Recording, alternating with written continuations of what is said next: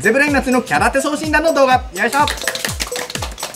どうもゼブライン祭りです。この動画ではですね毎回ゲストの方を招いて、えーその方にまつわる手相のお話をしております。なんと私は手相が好きなんです。だからですね。というわけで本日のゲストの方です。どうぞ。お願いします。よろしくお願いしますロリッとした子が来てくれましたよそれでは自己紹介をどうぞはい、推しが武道館行ってくれたら死ぬから来ました。横田彩です。あやですあやです。お願いしまはいす。さあ、あーやについてこちらの手相見てください。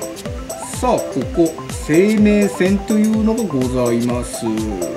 この線からぐーっと人差し指に向かって伸びてる線ございませんか？うっかり矢印を書いてしまいました。すいません。まあ、こういった線がある方はね、とても向上心がある、そして努力ができる、そんな方に出る線でございます。まあ、努力家のあーやだったら、負けず芸のあーやだったら、こういう線あるかなって思います。皆さんの手は、手にはこの線ありましたか？こういった線がある方は努力ができて、いずれ夢が叶うでしょう。じゃあ早速、手相を見せてもらってもいいですか？あの、はい。あやのこと好きですか？大好きですよ。もちろんですよ。ありがとうございます。はいじゃあ CD 何枚買ってくれましたか？まあ、C、CD はね、まあ、か買ってはないけど、なんでですか？うっかり。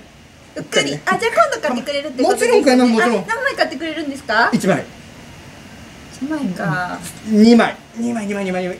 二枚も買ってくれるんですか？2枚買います、2枚買いますねもう。もうもう一声。4枚あーやったー嬉しい 今度あのメイド喫茶でも働いてるんでそっちにも遊びに来てくだあ、さいね行きます、行きます。やったーありがとうございますえ待って、手相。手相。残念、今回も手相が見えなかったよ。えーん。どうも、ありがとうございました。